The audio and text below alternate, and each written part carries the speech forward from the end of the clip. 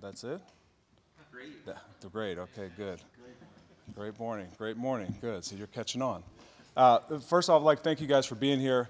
Uh, you know, it's a beautiful fall day out today. We had practice this morning. Noticed all the leaves changing colors, the reds, the, uh, the yellows, right? The fall's coming here. Uh, you guys could easily be out at Wilson's Apple Orchard picking apples or out at Kroll Farms getting pumpkins uh, with your kids. If you have that, that's what I'd be doing if I were not my kids weren't in school and I weren't here. But uh, you know, kind of just appreciate you guys being here and, and your interest level always in uh, Iowa special teams. Kind of what where we're at right now uh, as far as special teams go. Happy, you know, kind of how the the units have been playing. Uh, definitely not satisfied. There's a lot more out there for us. Uh, you know, there's some things we've had some really good moments so far this year, and then some moments that some near misses where we felt like you know we really could have impacted the game but didn't do it. Uh, we always talk about here being championship level, uh, talking about championship level practice, championship level play in games. And again, we've seen that uh, so far this year at times, and there's times where, again, near misses where coulda, shoulda, woulda. Uh, so uh, the goal right now is trying to eliminate the coulda, shoulda, wouldas, and then more, you know, being happy and satisfied with results. And um, you know, happy with how the guys are playing. Uh, in general, you know, starting off with the punt game, I think Tory is punting the ball well. Um, for the most part, there's some things consistency-wise I know that he's not happy with. You know, I'm sure he's told you guys that if he hasn't already. I'm sure he will. But uh, and you know, as far as uh, coverage goes, as far as coverage goes, I've been happy with the coverage. I think you guys have seen this in games already. You've seen Cooper flying down the field making tackles. You've seen Terry down the field making tackles. You've seen Jack Campbell, uh, you know, down there making tackles. And Xavier Nwankpa was a, a freshman who's you know, happened to, to join the join the unit, which is hard to do as a true freshman to play here in our in our punt unit. But he's doing it and doing it well.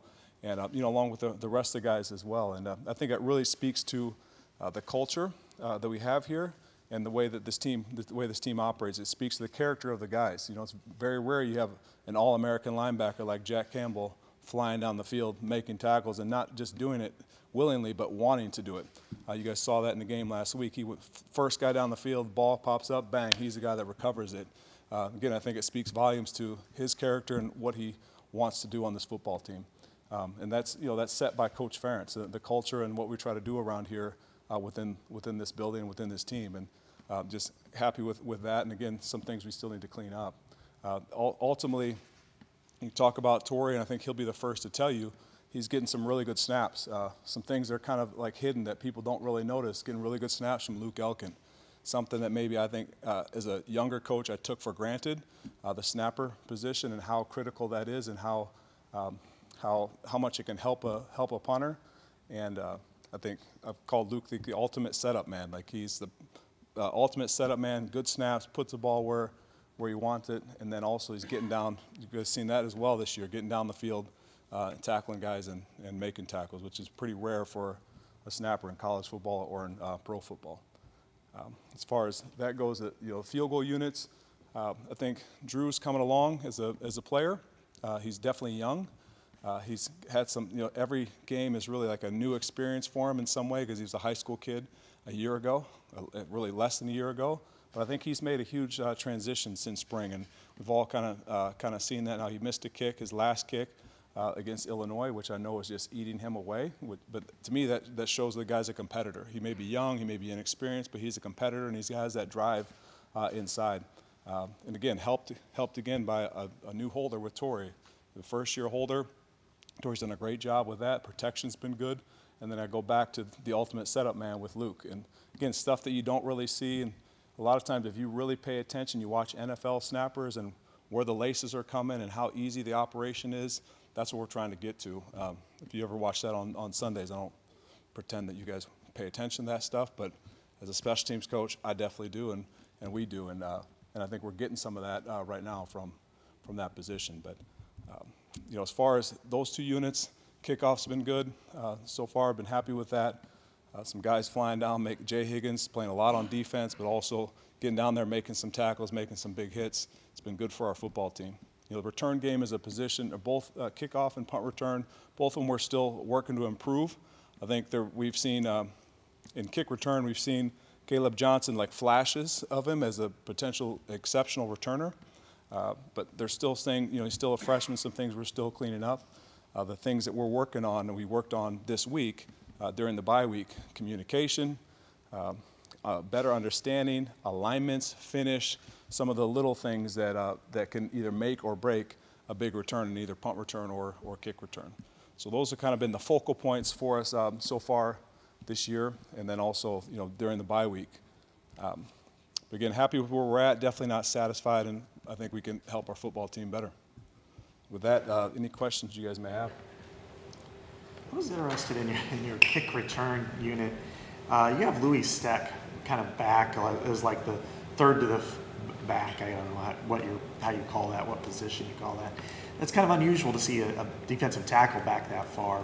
What does he bring in, in your kick return unit that puts him in that position, and and how comfortable would you be if the ball came to him? Yeah, so I'm, I'm glad you noticed that Louis back there because again, it's another position on our on our team that kind of goes unheralded, uh, unheralded, but but he brings a big packs a big punch and uh, really helps our, our unit. So uh, another guy that played there was a defensive lineman. Um, oh my gosh, his name's escaping me right now.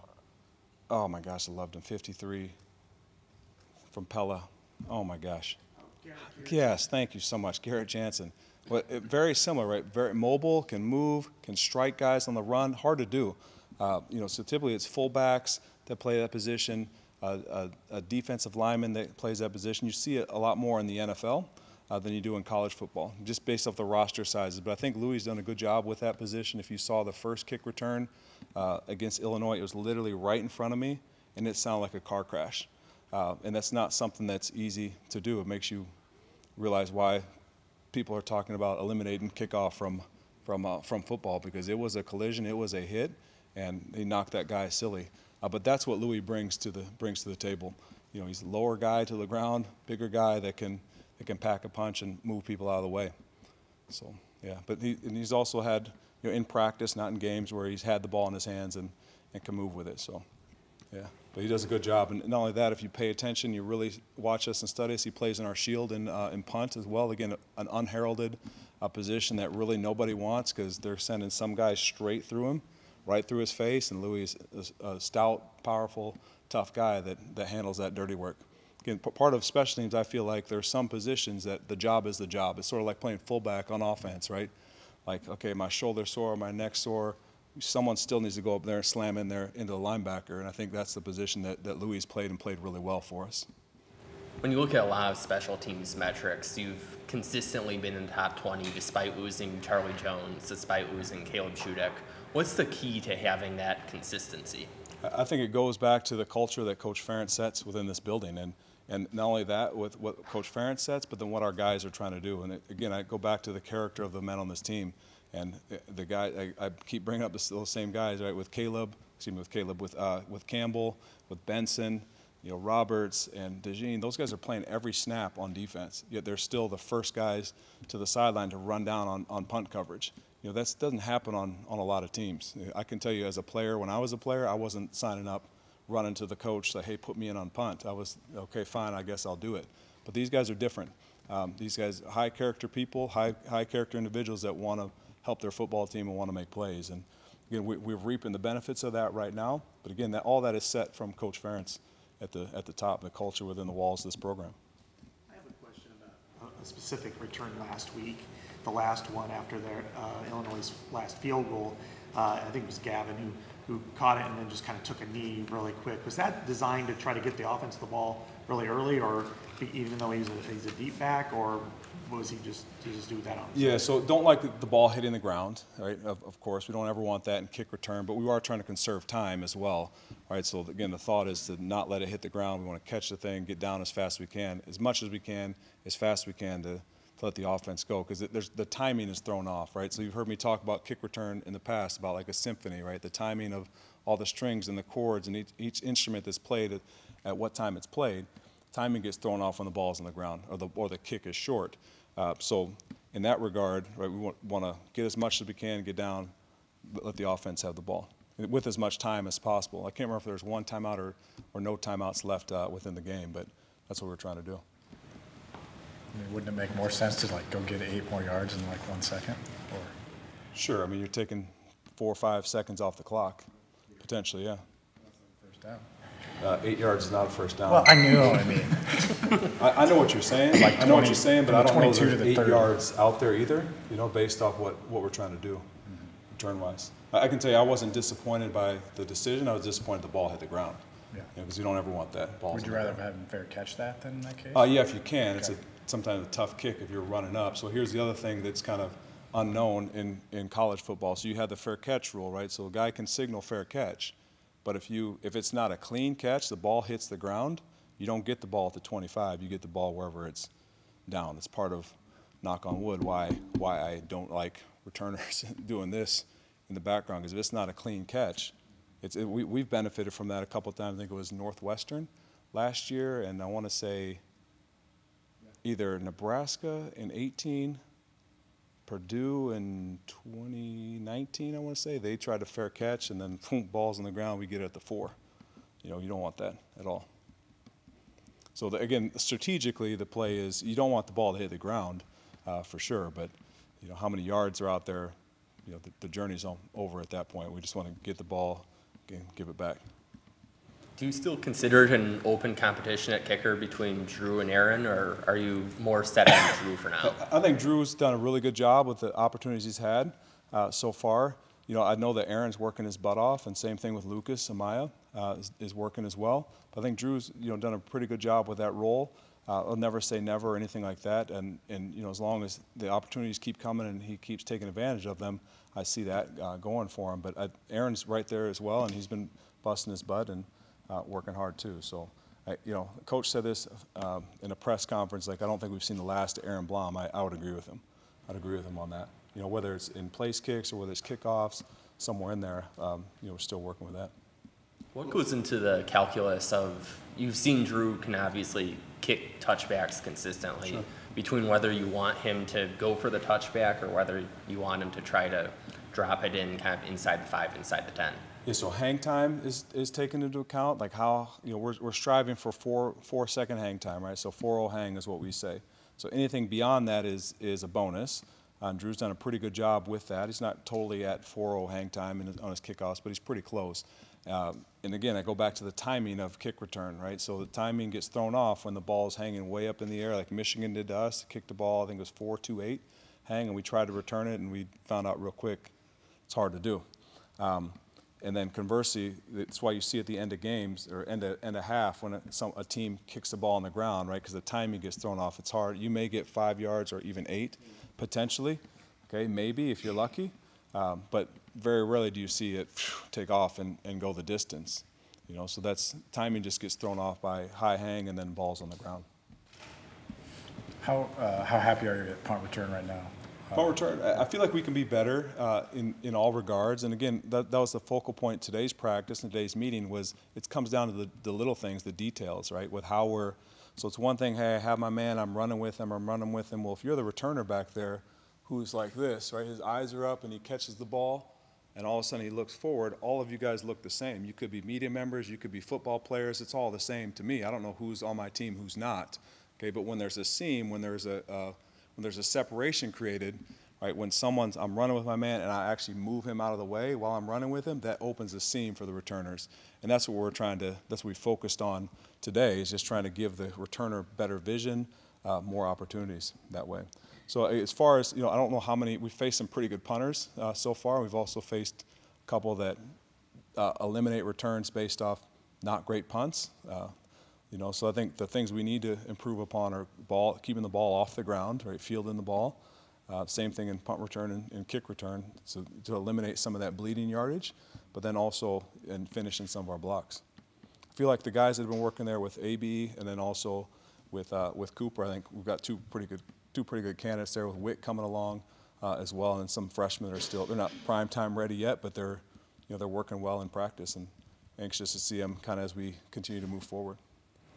You look at the, the Jay Higgins, the Kyle Fishers, the one who have excelled on special teams, and now they're getting a, a role on defense. who are kind of like those guys that are stepping into those roles? I know you mentioned Xavier earlier, Yeah. but who are some other guys across the special teams unit that are impressing you and might be able to parlay that into play at their own position? Yeah, I'm, I'm glad you brought that up because those are two guys with both Jay and uh, and Kyler who have done exceptionally well on special teams, and they're you know sort of the bell cows for us, if you will, as core players on special teams, and you're seeing it translate into roles for them on on defense uh, as well. You you mentioned one already with Xavier. I definitely see Xavier with that. Terry has sort of done that as well, right, playing as a gunner and then transitioning into uh, into a corner. You know, Cooper's done that. He did that last year.